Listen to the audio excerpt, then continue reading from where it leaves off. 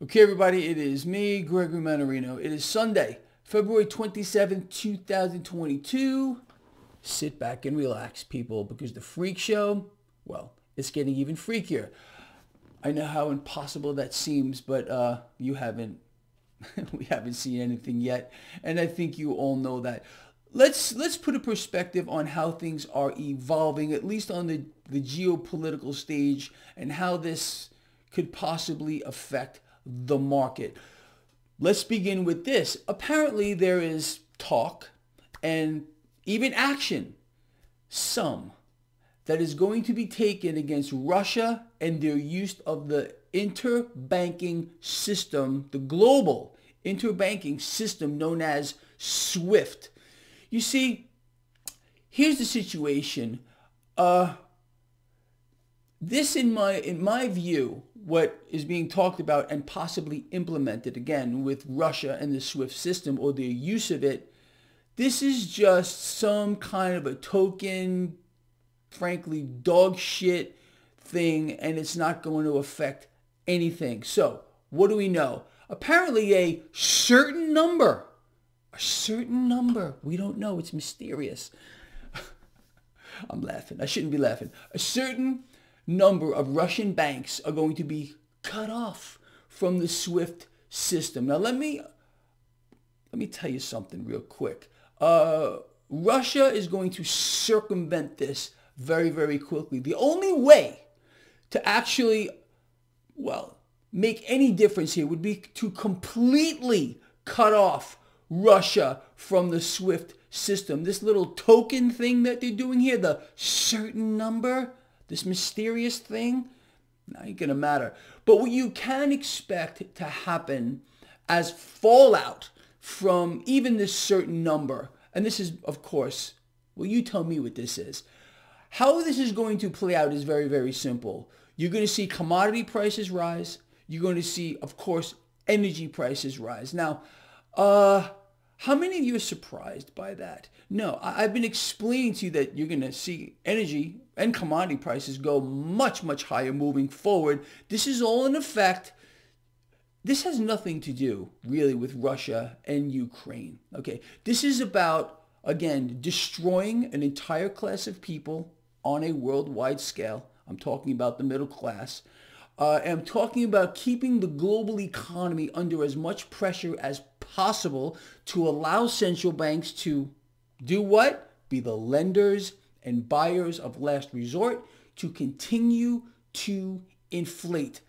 That's what this is all about, people. Open your eyes, okay? I know uh, most people are fixated. They're sitting here watching the news. They want to see what's going on. No, this is really not what it seems to be at face value. Nothing is. We go from crisis to crisis to crisis, all by design to allow the mechanism of global debt to continue to inflate on a massive scale with no end in sight. People, I have explained to you yet again for over a decade that you are going to see things moving forward that you cannot possibly believe. Things are going to be created in, in, in, in, in incredible ways just to keep central banks inflating, inflating, and then inflating some more. Period. The end. That's how this is going to play out here.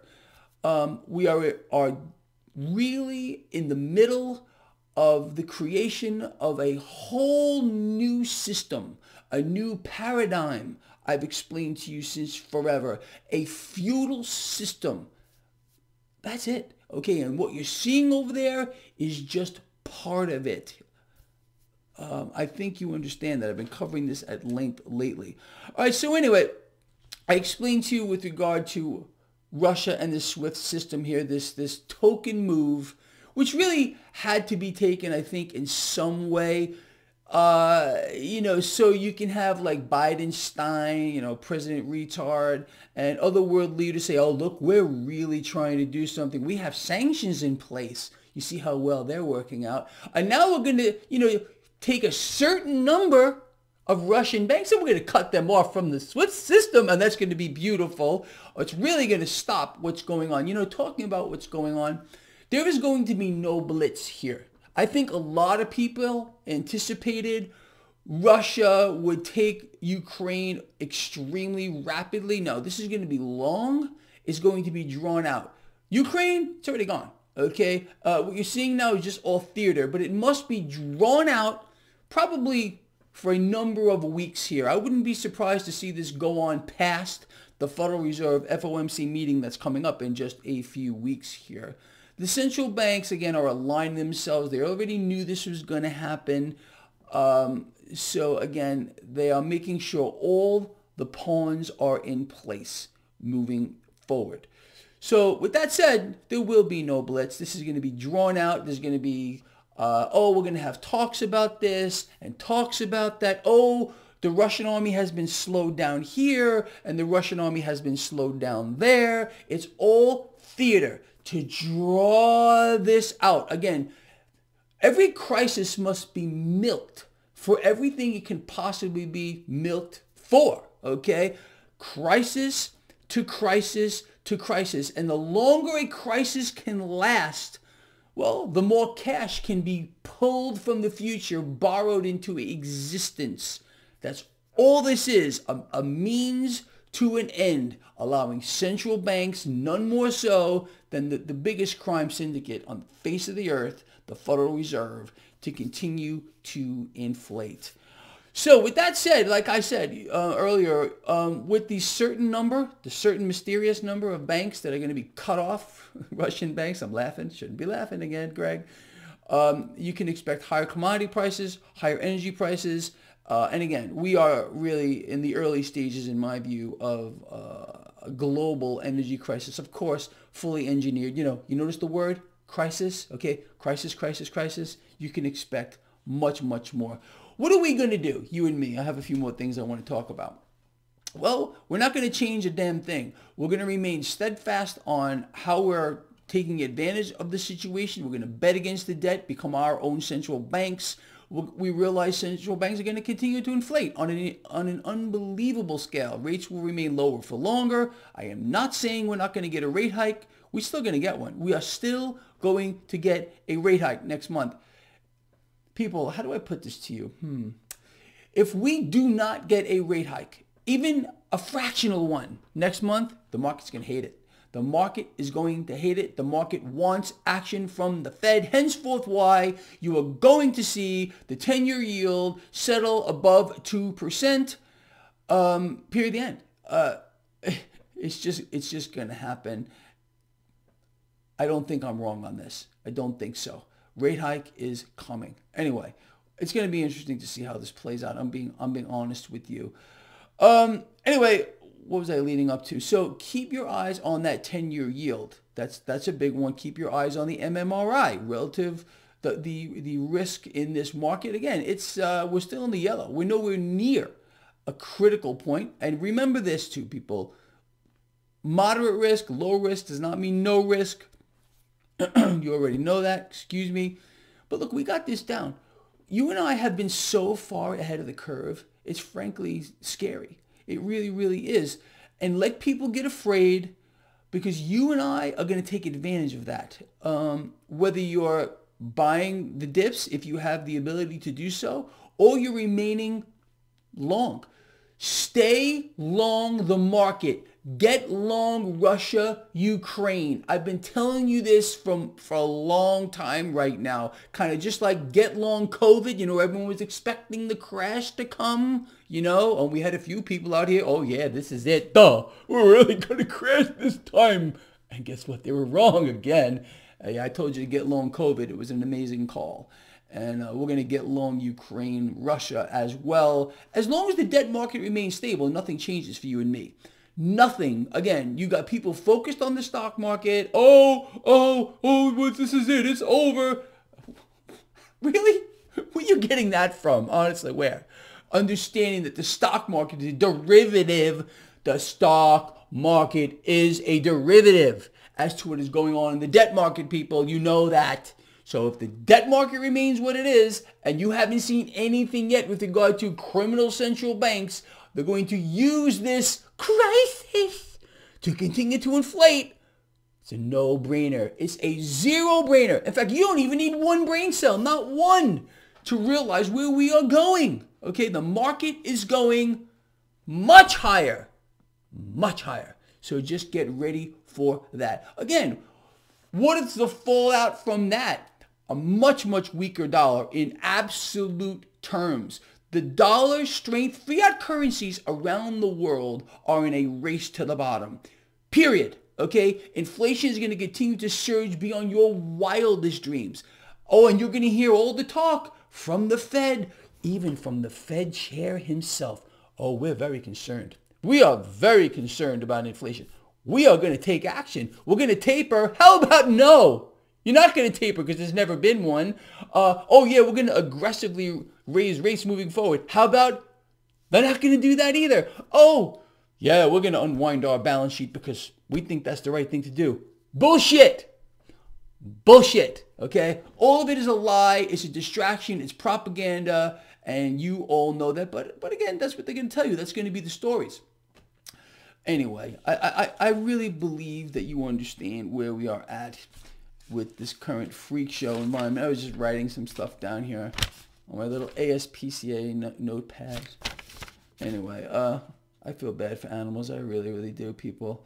All right, so look, let's let's summarize this real quick. Um, oh, one more thing. We had a pretty epic stock market rally on Friday, and we had a 1,000 point swing off the low Thursday. Uh, like a 2,000 point move off the low from Thursday in the Dow. I'm laughing. I'm laughing again. Okay, no surprise to you. I explained to you how this would play out. I said when bullets started to fly, you would see a big sell-off, which we did, and we would see a sharp recovery. Personally, I didn't expect it to rebound that fast, but that's what we got. We also got apparently uh, a little bit of an escalation here. Uh, you know, Vladimir over there, Vladimir Poo Poo, uh, whatever his freaking name is over there, just another puppet in the on the global stage. Anyway, oh yeah, he's putting his nuclear arsenal on alert. Now the market may not like hearing that, and I'm not saying this is going to happen, but if you put this, let's put this together. We got a nearly 2,000 point gain in the Dow off Thursday's low. Okay, pretty epic. Uh, then now we got a possible escalation here of, you know, with, with, with the rhetoric word, rhetoric war. I don't know. Market might not like that. And we'll see what happens tomorrow. I wouldn't be surprised to see the market fall a little bit, give a little bit back. But, but who knows? In this freak show, I, I have no idea. There's been an unbelievable amount of institutional buying. And of course, that includes the Federal Reserve. That's buying the market. So just real quick, in summary here. So we have what appears to be some action because it's a certain number of banks, certain number of them, uh, uh, Russian banks that are going to be, you know, cut off from the SWIFT system ain't going to matter. Uh, of course, there's there's back doors, front doors, loopholes, dog shit, sideways doors. They're going to circumvent all this. But what you can expect sincerely, and this is, of course, you know, the way it's supposed to go anyway. Higher commodity prices, higher energy prices, and guess who's paying for it? You are! You! Yes, you! Imagine Greg Mannarino shock. You, you know how surprised I am about all this. I, like we didn't know this was coming. Everything we are seeing now, people, you and I, we knew this was coming already. Uh, I explained to you, uh, at the beginning of the year, the very beginning, you know, my top five trends, we were going to see increased volatility in the market. We were going to see much, much higher energy prices and uh, food. I didn't know the mechanism. Duh, here it is. You know, look, it's not easy. It's not hard, I mean, to realize what's going to happen. The actual events themselves, you know, they're, they're difficult to pinpoint, but we know what's going to happen because the mechanism is so simple. They are the central banks are determined to inflate. Central banks are determined, and this is all about central banks. It's not about world leaders, Vladimir Poo Poo. I gotta come up with a good name for him. Poo, Poo shit. I don't know. Putin, Pushet, I, I don't know. He's, just like I said, he's a puppet on the world stage. They all are. Kings, queens, monarch, dictators. They are just, you know, there's this is figureheads to lead the people along because they need, the people need someone to look up to on that pedestal because they're just so important. They're just, they're just like godlike figures. Yeah. Anyway, make it up, people. Make it up. I mean, come on. I think you get it here. Look, I, I think I'm going to stop talking right now. I think I've covered everything I needed, at least to, to get out here. Um, anyway, let's see how this plays out, people. I'm looking forward to it. Honestly, keep your eyes on that 10-year yield. Keep your eyes on the MMRI. You know that. Um, I did add on my website, traderschoice.net, you can see, again, the banks I'm looking at, the energy producing companies, uh, if you want to get in on that. Um, let's see. Let's see where this goes. And whatever happens, I know it's it's crazy. It really is. But you and I, well, what can I tell you? We're just gonna we're gonna get through this like we have gotten through every freaking other thing because we know what's going on. We know what's happening. We know what they're gonna do before they do it. So crisis, this crisis is gonna go on longer, okay? And then we're gonna get another one because you see the global system can't work without crisis to crisis to crisis because the debt-based economic model must be fed. It's a monster. And without feeding it, well, this whole thing turns back into Mad Max. But the central banks, they are using it to their favor and they're going to milk it for everything that they possibly can because they're in full control. All right. Love you a lot. See you in the morning.